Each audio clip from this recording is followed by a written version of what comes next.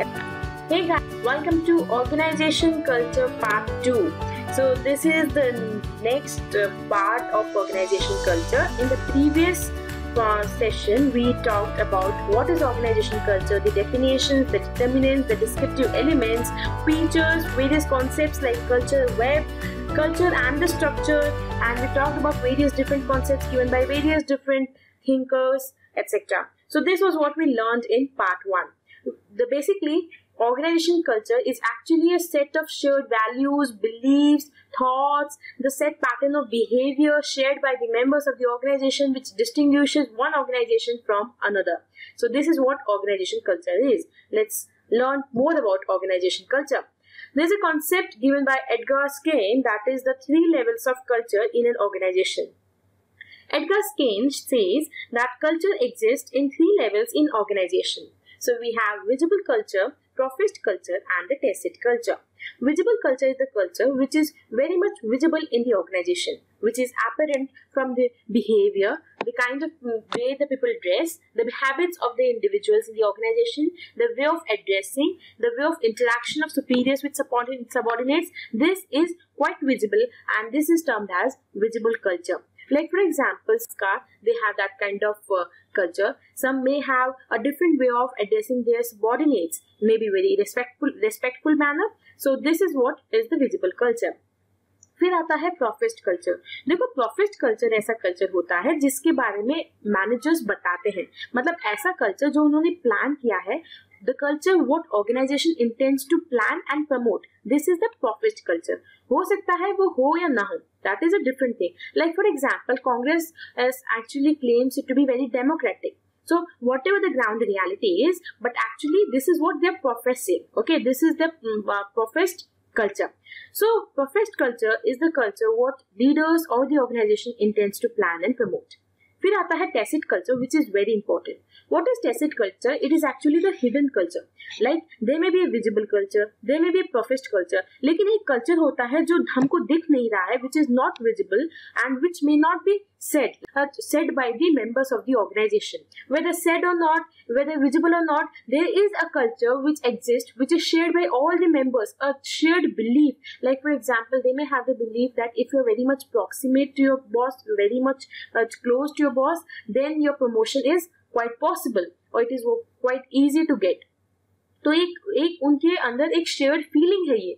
अगर वो नहीं भी बोलते हैं तो ये है part of tacit culture a hidden culture तो culture is everything which is shared among the members of the organization a shared belief value models ideas thoughts behaviour जो ऑर्गेनाइजेशन में है, चाहे वो विजिबल हो प्रोफेस्ड हो, या टेसिट हो, या हिडन हो okay and I think this part of the culture which is tacit और hidden is the strongest part because it is not very much easy to identify but it is actually has a major impact on the behaviors of the people okay so this is edgar schein coming up with three levels of culture next is okay so this is edgar schein coming up with three levels of culture next is octapace it is parik's culture model actually एक ideal culture के लिए पारिक ने हमको दिए हैं he has come out with like eight features that every organisation should have organization culture में होना चाहिए। जैसे openness they should be openness people should come together they should communicate freely two way communication होना चाहिए।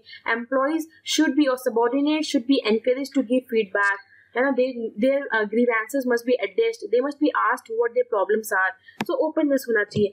People must be free to share their ideas thoughts and take initiative etcetera confrontation जैसे कि हमने पिछले वीडियो में देखा था, Narayan Modi he came out with a philosophy of of open confrontation till a decision is taken जब तक decision नहीं लिया, तब ओपन कन्फ्रंटेशन हो। And once a decision is taken then every month every one in the organization should follow तो should follow तो ये कैसे हुआ? क्वालिटी सर्कल हुए, आपके प्रॉब्लम सॉल्विंग ग्रुप्स हुए टास्क ग्रुप्स हुए way people sit together they discuss ideas they do not just agree for the sake of agreement means you are avoiding a concept called group think वो सब चीज़ें आ गई trust मतलब they should be you should leave your individuals to be little free है ना? Not too much of supervision like जो है ना मैग्रेगर की मैग्रेगर की वाइट थ्योरी में हम एम्प्लॉय एक्स के बारे में पढ़े थे।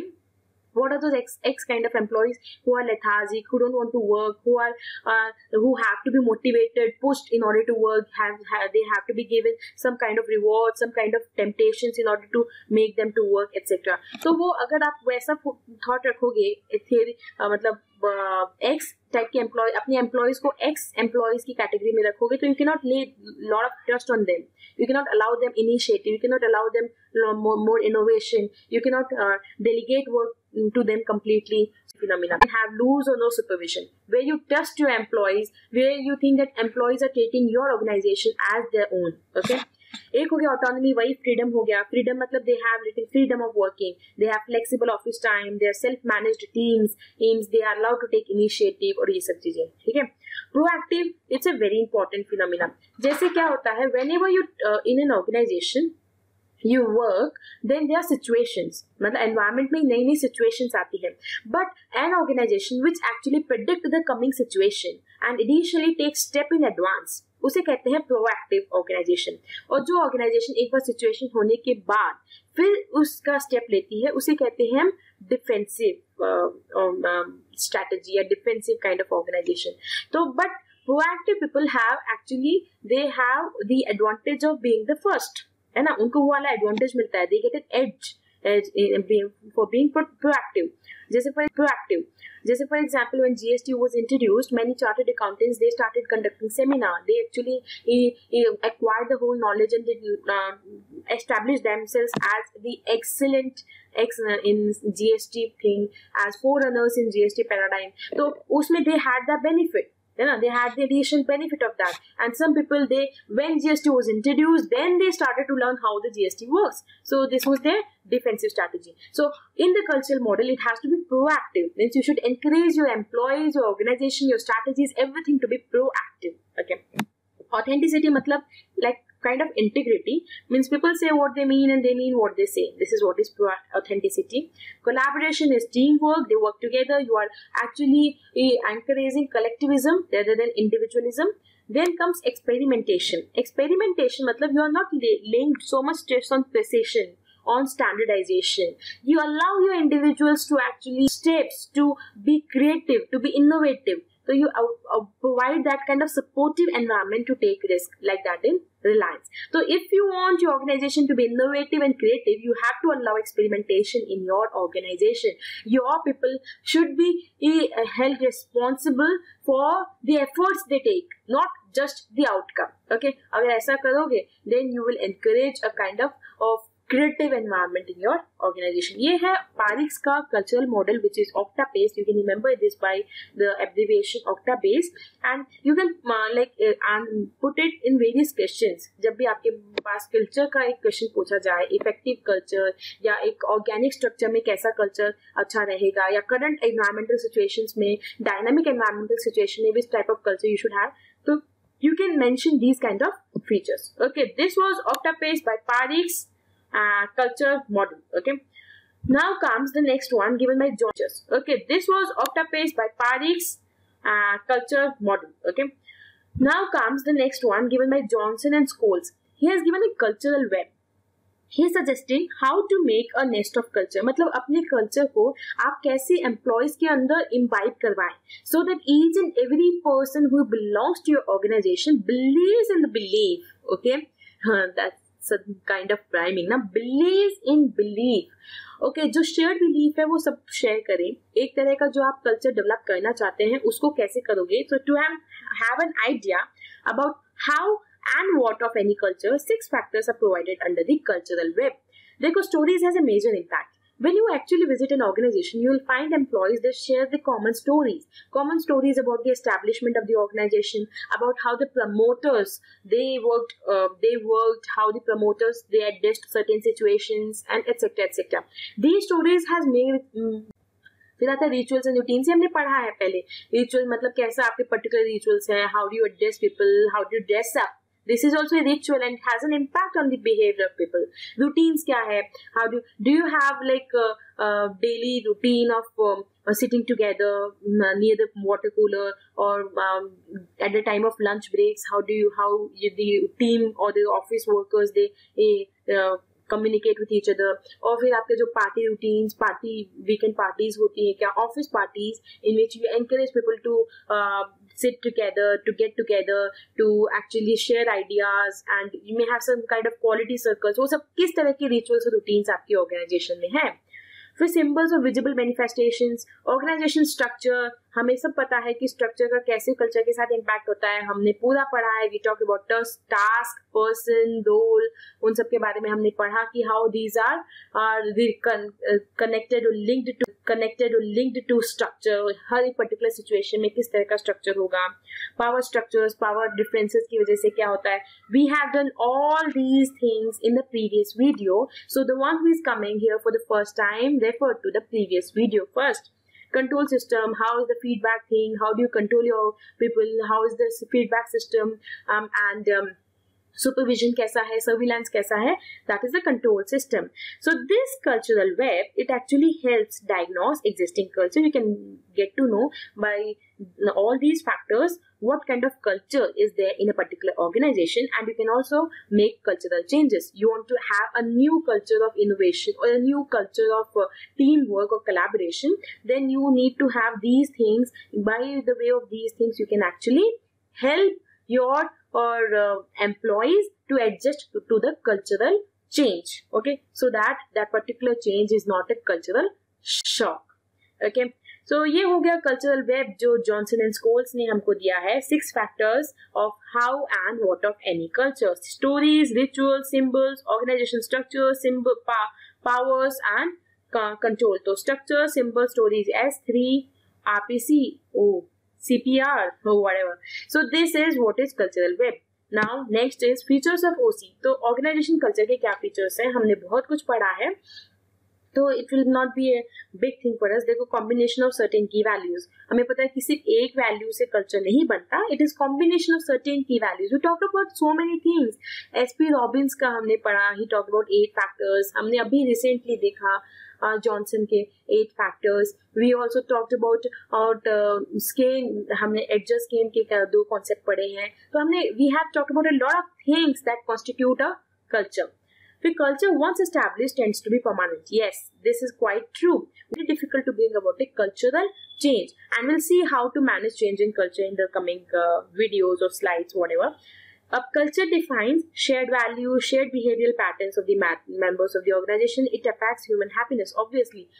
एक ह्यूमन कहाँ सर्वाइव करता है they survive they live in an environment and an environment that environment consist of culture in every way the way you communicate with each other the way you report the way you think the way you say things to others the way you behave so wo ek culture has an immediate impact on the happiness if you have a healthy culture a very friendly culture, a very supportive culture, then it will increase your human happiness. तो एक human concern भी एक कल्चर का part है कि आपका human concern कितना है एक्सेट्रा एक इंपॉर्टेंट चीज़ इसमें नहीं लिखी हुई कि organization culture is actually one thing that distinguishes an organization from the another ठीक है ये आगे features of organization culture now comes the most of organization culture now comes the most important part which is process of formation of culture एक culture बनता कैसे है सबसे पहले philosophy of founder So what it is? It is a long-term effort and it is initially initiated primarily by promoters. हमने previous video में देखा था like J.R.D. Tata had a philosophy, Dhirubhai Ambani had one, Narayan Murthy had one, and the the philosophy to those promoters had, है ना? That philosophy had a major impact on the organisation culture like risk taking का environment उन्होंने create किया, या फिर team collaboration team work innovation जिस type का भी एनवायरमेंट उन्होंने सेट किया। So it is primarily initiated by promoters and it's a long term effort and it requires well thoughtful efforts क्या क्या स्टेप्स होते हैं? सबसे पहले you have to establish values and norms like आपकी जो ऑर्गेनाइजेशन में मेजर वैल्यू रहेगी like Apple it actually emphasise on brachial it actually emphasise on breaking the status quo so that is a value और a norm in the organisation so you have to establish it और इस establishment को करने में you have to continuously reinforce it reinforce जो हम आगे भी पढ़ेंगे कल्चर स्टैब्लिश होने के बाद उसको री एनफोर्स करना पड़ता है through carrot and stick I think you are very much familiar to this term we have studied this term in history number of times how British try to uh, manage the moderates that time using carrot and stick. It simply means carrot मतलब punishment uh, मतलब uh, inducement और stick मतलब हो गया punishment. किसी भी तरीके से आप साम दाम दंड भेद वाला चीज़ हो गया उस तरीके से आप उसको मनाने की कोशिश कर रहे हो तो एक पर्टिकुलर आपने वैल्यू स्टैब्लिश की if the people are conforming to that value तो you will give them inducement you will provide them promotion reward etcetera and if you are not conforming to it then you will punish them So ये carrot and stick approach होगी. Education and training etc. approaches by which you want your employees to conform to particular values and norms which are established by you. We're creating vision. This is very important. Vision actually tells a lot about the organization, a lot about why of the organization, why the organization actually is is uh, sustaining or we can say why the organization is particularly established and it also talks about the future of the organization कि future कहाँ में कहाँ जाना चाहती है तो एक vision से एक पूरा goal set हो जाता है path set हो जाता है तो इसके लिए आपको values and norms चाहिए vision create करना पड़ता है फिर उन values and norms को practice करना पड़ता है that means management by example okay leadership by example एक चीज़ हो गया कि you have to not only say those things you have to enact on those words so that people actually follow these things to internalise through return statement return statement ceremonies honouring display of cultural ideas organisation menu story telling reward continuous process इस तरीके से you have to practise the values and mission तो ये simple सी बात हमें समझ में आई कि फाउंडर फिलोसफी ऑफ़ स्टार्टिंग में हमने जो कल्चर की फाउंडेशन ले डाउन की है that is laid down through values norms vision and practising those values and vision okay आपने ये तो एस्टेब्लिश कर दिया। फिर आते हैं आपके नए नए एम्प्लॉयज़ आते रहते हैं। तो आप क्या करोगे? Then comes an important part that is a selection criteria मतलब क्या होता है? आपने जो पर्टिकुलर विजन सेट किया, आपको ऐसा एम्प्लॉय चाहिए who already has an orientation towards such a vision Like for example, when you're going into the service, like we talk about UPSC.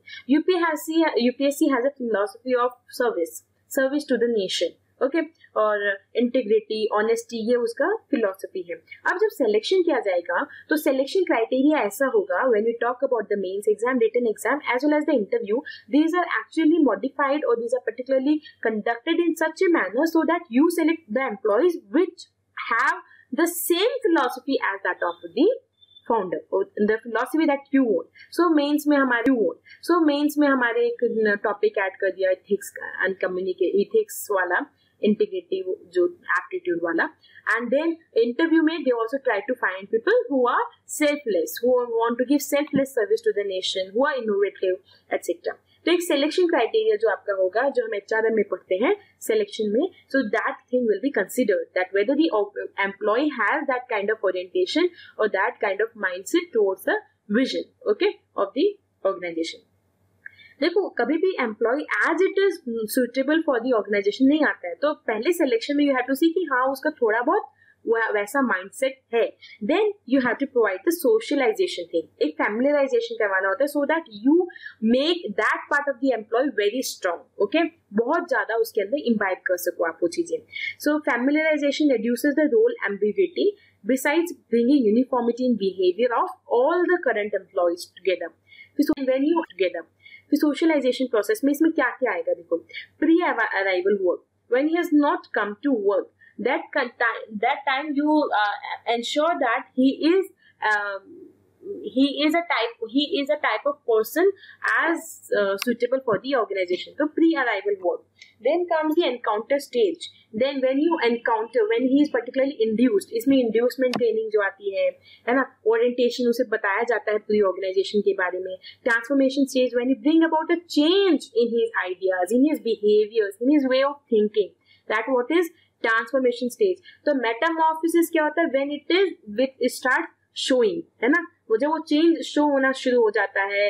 When you see the change in the person he is adhering to the rules the norms he is behaving the way the people behave तो ये पूरा एक process है कि आप उसे पूरा एक तरीके से मोल्ड कर रहे एक एम्प्लॉय को अपनी ऑर्गेनाइजेशन नीड्स के according this is what is socialisation okay behavior of a top management has a major impact on this thing.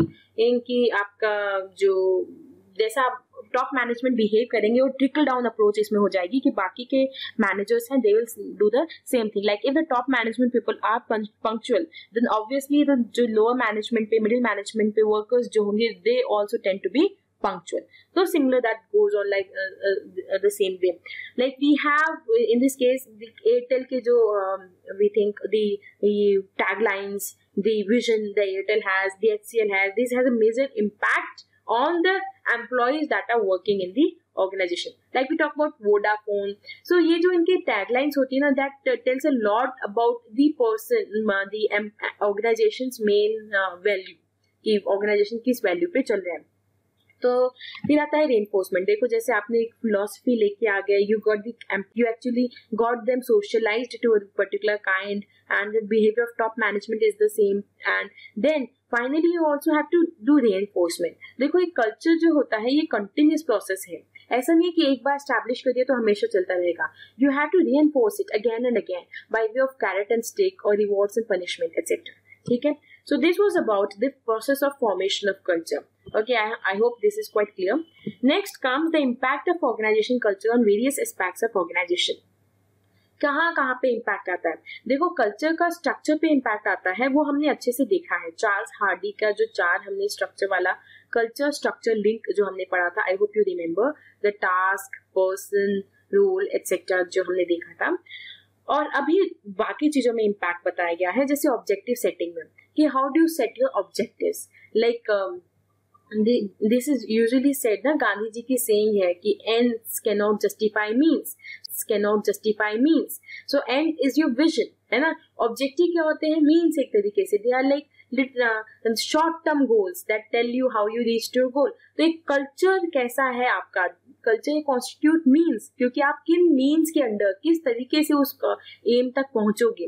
तो वो आपका कल्चर हो गया। तो this culture this means will help you set set those objective this benchmarks as again and again to reach the particular end that is your goal I hope this is clear so it help you in setting your objective कि आप किस particular process में काम करना चाहते हो। Work ethics कैसे होंगे आपके organisation like we have Infosys का C life we did it in the previous video like customer satisfaction etcetera जो सी लाइफ है इन्फोसिस का बहुत फ़ेमस कल्चर है। मोटिवेशनल पैटर्न्स कैसा हो गया? How do how are you going to motivate you employees what kind because जो culture आपका होगा उसी तरह से आपके एम्प्लॉयज़ um, का way of thinking way of behavior impact on how do you use the motivational techniques? What kind of needs they have prominent वो सब चीज़ें आ जाएँगी। ऑर्गेनाइजेशन प्रोसेस भी उसी तरीके से डिसाइड होंगे जैसा आपका कल्चर होगा। जैसे culture is also impacted by the society in which you had. जैसे for example in American organisation rational decision making is done this is a process rational decision making India में it's like decision of managers are more faith oriented एक type of we also go for a charismatic authority kind of we also follow authorities so it is um, different in indian subcontinent okay so these are like impacts of uh, organization culture on various aspects ये quite important topic है because you get to know कि how organization culture is impacting the objective setting work ethics motivational patterns organisational processes आप इसमें ना कई सारे examples डाल सकते हो जैसे मोटिवेशनल पैटर्न के। Like if you are having कई सारे एग्जाम्पल्स डाल सकते हो जैसे मोटिवेशनल पैटर्न के। Like if having more kind of hierarchy uh, hierarchy or very much uh, task oriented thing then the motivational may be by way of the social needs और recognition हो सकता है आपका या इकोनॉमिक वे में आप motivate कर सकते हो। But you are actually your culture is so much of team effort team work collaboration then you should more focus on the human relations your motivation should also in that part like providing them um, uh, some free hours, uh, so lunch, longer lunch breaks, or uh, more frequent breaks, or kind of more get together. Kind of thing. Or if you find that your um, uh, uh organization is more of innovative more of creative kind of thing then the motivation and can be different. Like it is uh, adhering to different demands or needs of the individual. So in, in all these cases you can come up with some examples. So this is what the impact of organization culture on we have like come up uh, to a, a, a like we have been studying for a long time. So I will take the rest of the topics in the next video. And if you like this video, give me a thumbs up, like this video, share this video, subscribe to the channel and help the education spread for free. Till my next video.